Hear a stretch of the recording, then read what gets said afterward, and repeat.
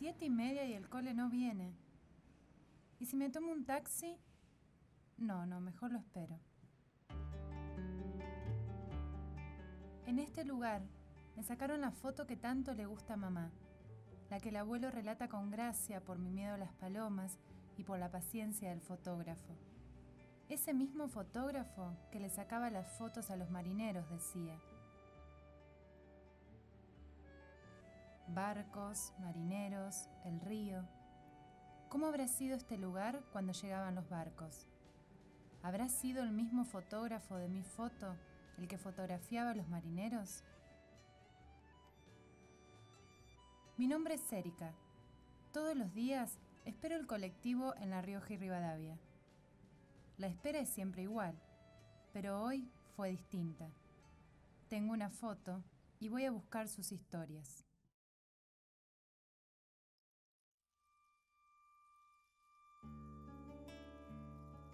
Con la foto de mi infancia me encontré con Miguel, hijo de don Antonio Mitri, fotógrafo que con paciencia me retrató con las palomas. Miguel me habló de la tienda Ultramar, donde su padre guardaba la cámara, y allí me encontré con Mario, hijo de Simón, el fundador de la tienda que vestía a los marineros. Y hablando de marineros, llegué al encuentro de Oscar, agente marítimo y enamorado del puerto.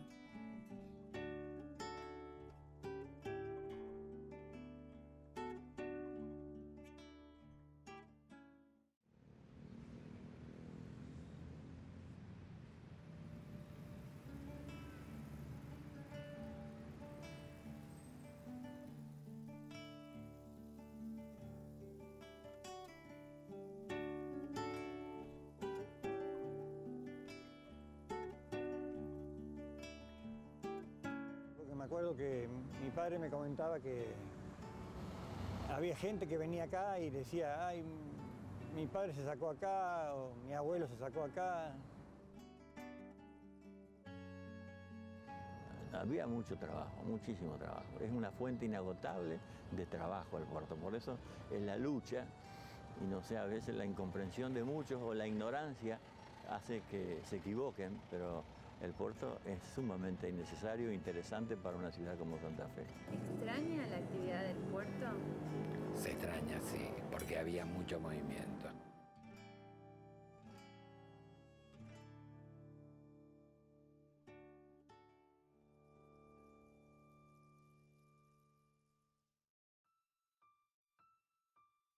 En el mapa, el puerto de Santa Fe se sitúa en el corazón de la hidrovía Paraguay-Paraná, siendo aguas arriba el último puerto ultramar apto para operaciones con buques oceánicos.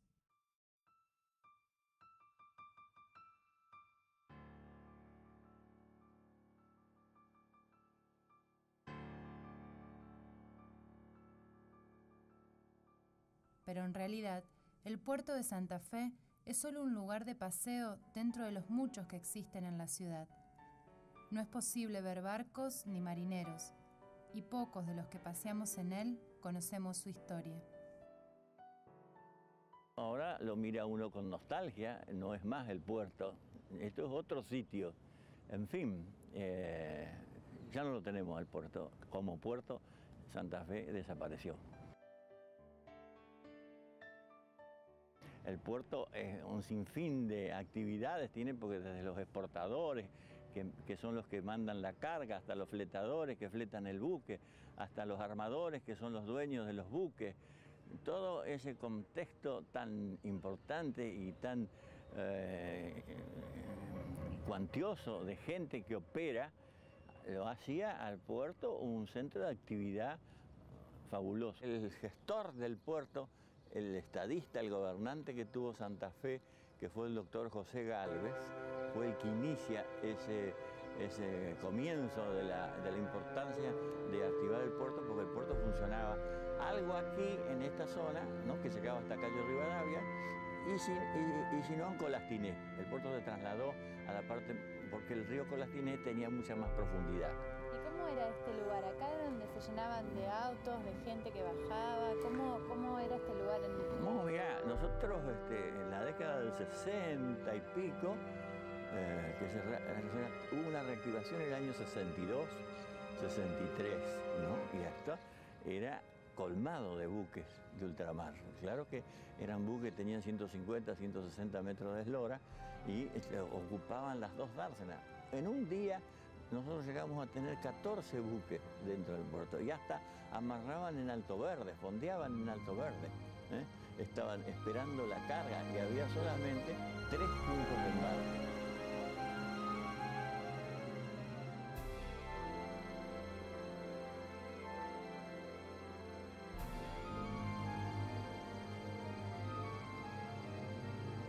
y se compartía todo y había una interrelación entre todos los portuarios, había una amistad. Imagínate que los elevadores, por ejemplo, había más de 300 personas que trabajaban en el elevador. En la administración de puerto tenía 240, 260 personas. La aduana esta- era importantísima, había un resguardo de aduana dentro del puerto que era ahora está es otra, otro destino tiene. Bueno, eh, pero era enorme cantidad de gente, era toda una sociedad que, que trabajada y que estábamos vinculados todos unos con otros, obligadamente, vos no podías operar solo, sino que estabas contactado con el otro para poder este, manejarte con el barco. El barco hacía de unión y nosotros éramos el nexo del agente marítimo, como te dije, entre todos ellos. ¿eh?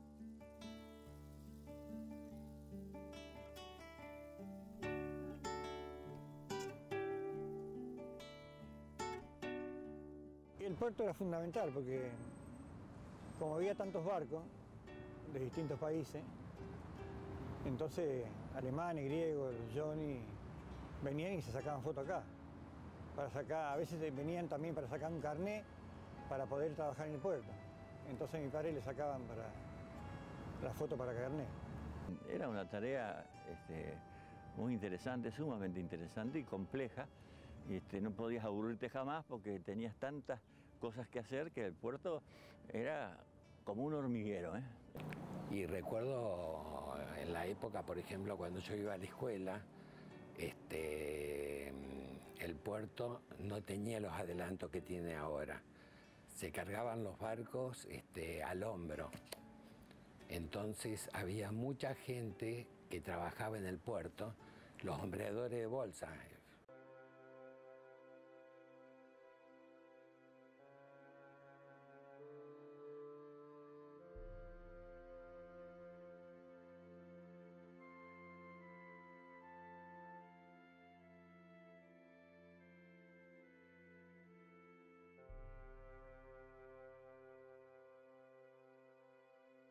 Antonio Mitri fue uno de los fotógrafos más conocidos de la Plaza de las Palomas.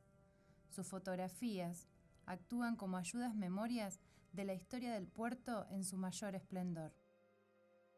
Él comentaba que los días que había mucho trabajo, cuando había menos trabajo, incluso cuando había mucho trabajo ellos se quedaban y comían acá, no, no se iba hasta la, hasta la casa.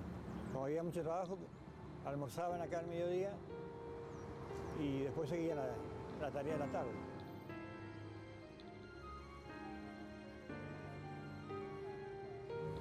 Y él trabajó más o menos, empezó a trabajar en el año 46 más o menos.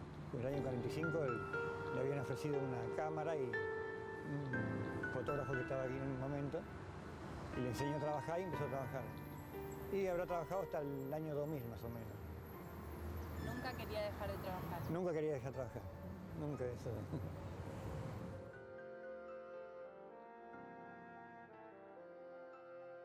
Al principio había tres, cuatro, después llegó en el año 44, 45 ya éramos nueve. Y a veces había otros más, pero provisorios, ¿sabes? Gente que pasaba. Pero siempre hubo nueve. Ahora no hay. ¿Sacaban fotos? Aquellos años sí, muy buenos. Mucho trabajo. ¿Cuál fue el mejor año? Los mejores años. Y los mejores años fueron más o menos del, del año que yo vine, 45, ya del 44, ya hasta más o menos el 55, 56 se trabajó mucho. Porque teníamos puerto que daba mucha... Venía venían muchos barcos, ¿entiendes? Toda esa gente bajaba acá. Entonces trabajábamos todos. Y la gente que venía del campo antes no, no tenían su- sus cámaras como ahora. Entonces todos dependían de este, del fotógrafo de la plaza. Venía en bicicleta toda, toda la mañana y a la tarde venía en bicicleta. Y le sacaba mucho a los conscritos del, del regimiento 12 que estaba en ese momento. Y después a todos los que venían a pasear a la plaza.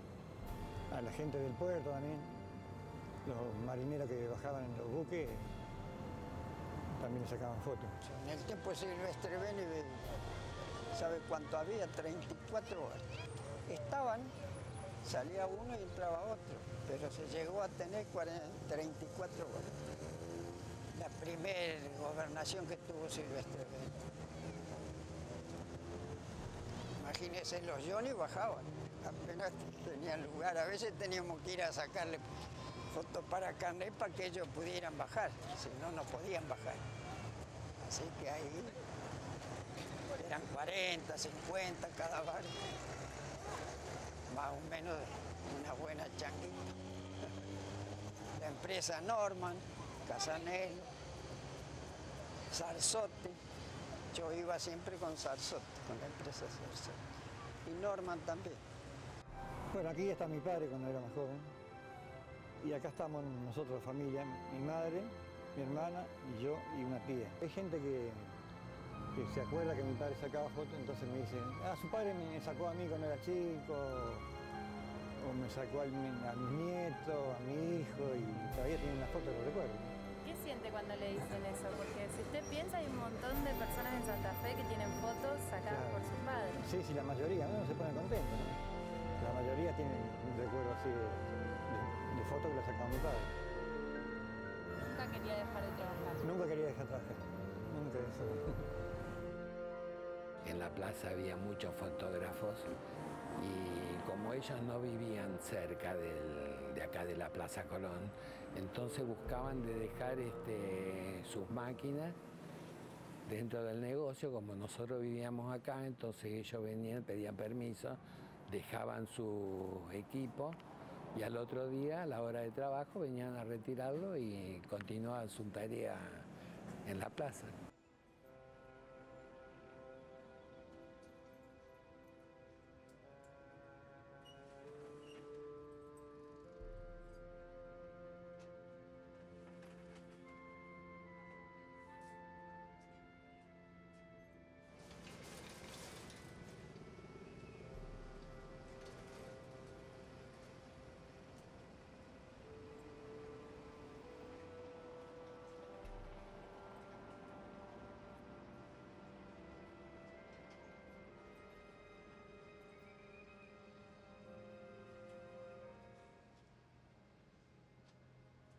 La tienda Ultramar constituye una parte de la memoria de la ciudad y es el último bastión de una época de esplendor.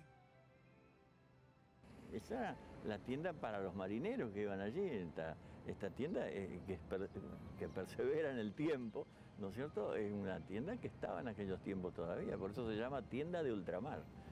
Toda, toda esta cuadra, calle Rioja y de calle Rivadavia, frente a la Plaza Colón, eran todos negocios familiares. Nacida en 1924 en el corazón del barrio del puerto, fue la típica tienda de campaña y entre sus compradores se encontraban los obreros portuarios, las familias rurales y los trabajadores golondrinas que llegaban a Santa Fe. Acá al lado había dos bares, así que continuamente había gente eh, que salían de trabajar del puerto y venían a almorzar porque se daba de comer acá al lado. Este, y sí, había muchos marineros. Los marineros eran de los barcos que venían del extranjero en realidad. Este, la gente de acá de Santa Fe no trabajaban en, los barcos, únicamente los estibadores que, este, que cargaban los barcos únicamente. Yo nací acá y en este momento, que ya ha transcurrido gran parte de mi vida, eh, siento que me faltan muchos aspectos. Mi abuelo, yo era chico, yo tenía 12 años cuando murió mi abuelo y le decía a mi abuelo, no, no, ¿cómo hace para hablar con tanta gente extranjera, tantos idiomas? Y me dijo, cuando vos empezás y tenés hambre, ¿no? el estómago te enseña, decía, te enseña a hablar. Y él se manejaba con muchos idiomas, por supuesto que no era la perfección, pero se manejaba muy bien. Y, ahí aprendimos nosotros también este, a manejarnos con la gente, hablando con la gente, porque la mitad ahí tenés que hablar, ya, si vengan alemanes cerrados o, o ingleses este, que no cambian una letra, o que, bueno, este, hay que tratarlo. Y la verdad que tengo mucha satisfacción porque este, el trabajo de mis padres no quedó en la nada, porque yo lo continué y ahora uno de mis hijos, yo tengo cuatro hijos, y uno de mis hijos está continuando el negocio. Así que eso también me da satisfacción y te da más ánimo de poder este, prestarle atención al negocio y darle otro tipo de vida.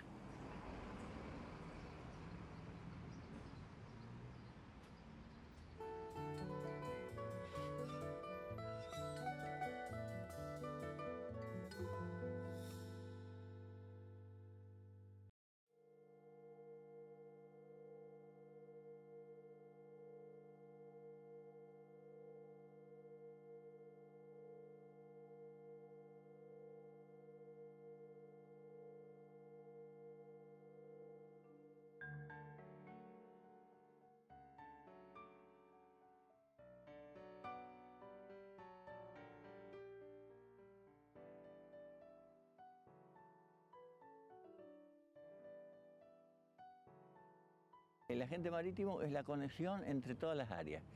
Por ejemplo, nosotros, el exportador nos mandaba los permisos de exportación, que los cumplíamos como despachantes de aduana. El, cargador recibía en su bodega la, la carga, en las bodegas de los buques.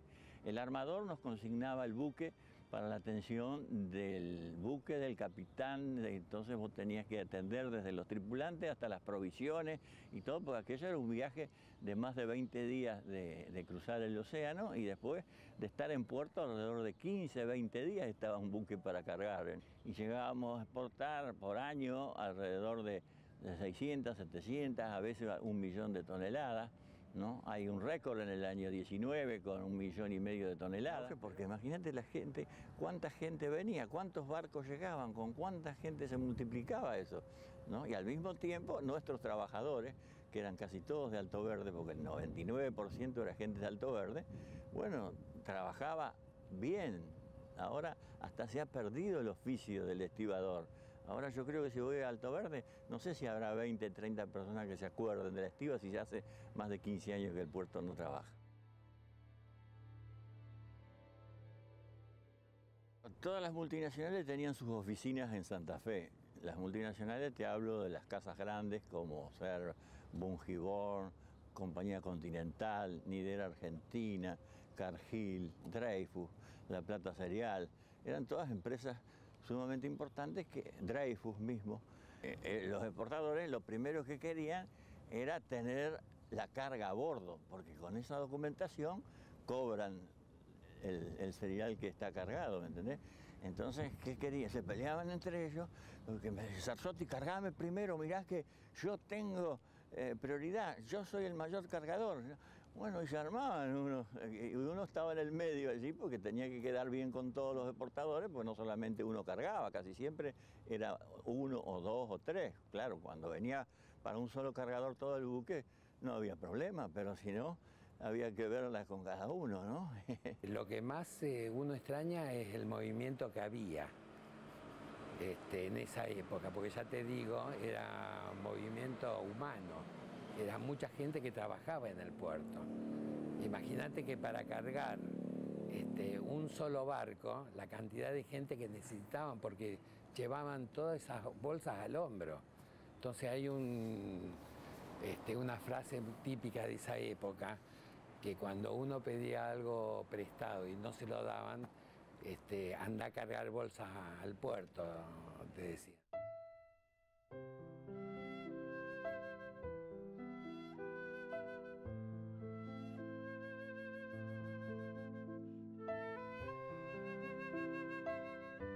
Antes se cargaba mucho con bolsas, entonces ah, vos tenías que saber manejar la bolsa para levantarla, hombrearla y, cargarla en el lugar, porque era todo a mano se cargaba. A veces venían por embolsaderas del mismo elevador iban directo a la bodega, pero abajo había que saber recibirla y volverlas a recargar sobre el hombro y volverlas a acomodar y se acomodaban. A veces las cargas, de acuerdo a cómo eran las bodegas, las cargas a granel llevaban unas estivas de bolsa arriba para que eso no se mueva durante la navegación, ¿entendés? Entonces lo afirmaba, la bolsa afirmaba esa carga que estaba dentro de la bodega. Por ejemplo, con la guerra a las Malvinas o con la guerra con Chile, ¿no es cierto? Yo estaba, estábamos cargando un buque en el elevador, justamente, y era media mañana, y se me aparece el ejército con unos camiones bárbaros, y me dice, Sarzotti, afuera, toda la gente afuera, el buque afuera, pero ¿cómo? Le digo, ¿cómo?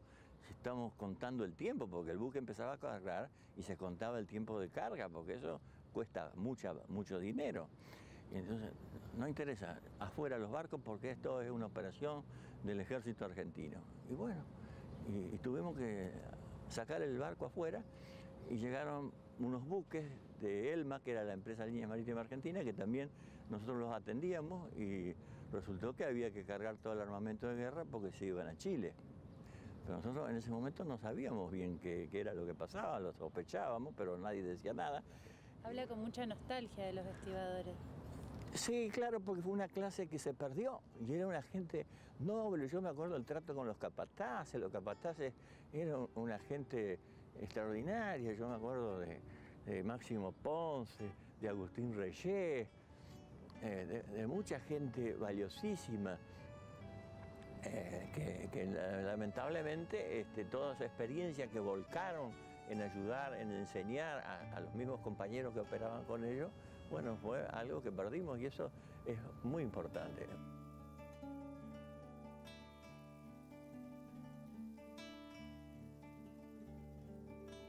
La historia de Santa Fe ha estado completamente ligada al puerto. Hoy su historia se aleja considerablemente de los barcos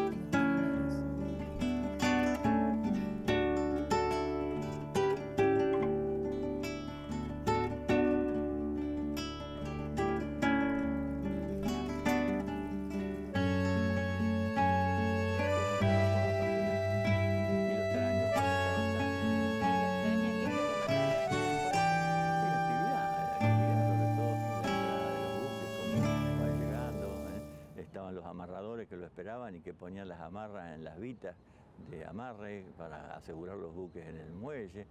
Eh, prácticamente el puerto hará alrededor de 20 años que ya dejó de, de tener la actividad que tuvo. sí. ¿Y es, hace esa misma cantidad de años que entró el último barco, por ejemplo? No, no, bueno, ahora eh, el último barco para cargar, este, hubo un, un buque que nosotros tuvimos no de cereal, sino de arroz, que fue por los años eh, 70, creo, 70, 71, que fue el último barco que nosotros operamos con carga completa de arroz. Y después habrá venido algún otro que es cerealero, pero mm, para cargas este, mínimas, ¿no es cierto? En algún momento se llegó a cargar 250 mil toneladas en el año, en fin. ¿Qué le genera ver a este barco acá de esta magnitud, al buque este, eh, después de tantos años que no... que no- Sí, realmente la impresión fue grande cuando lo vi llegar, ¿no es cierto? Ahora ya me acostumbré, pues hace varios días que está, pero fue una sensación así como de, de alegría de, por, la, por el potencial que aún tiene el, el- el puerto, los muelles, lo- porque estos muelles que vos ves tienen un valor, eh, eh, son carísimos. Haber hecho estos muelles y no haberlos aprovechado, mira, te da una pena terrible. Entonces, está muy bien que venga un barco, aunque sea a, esperar el tiempo que sea necesario, pero el puerto tiene que ser utilizado. Hay que buscar la vuelta para esto también que sea utilizado y que sirva.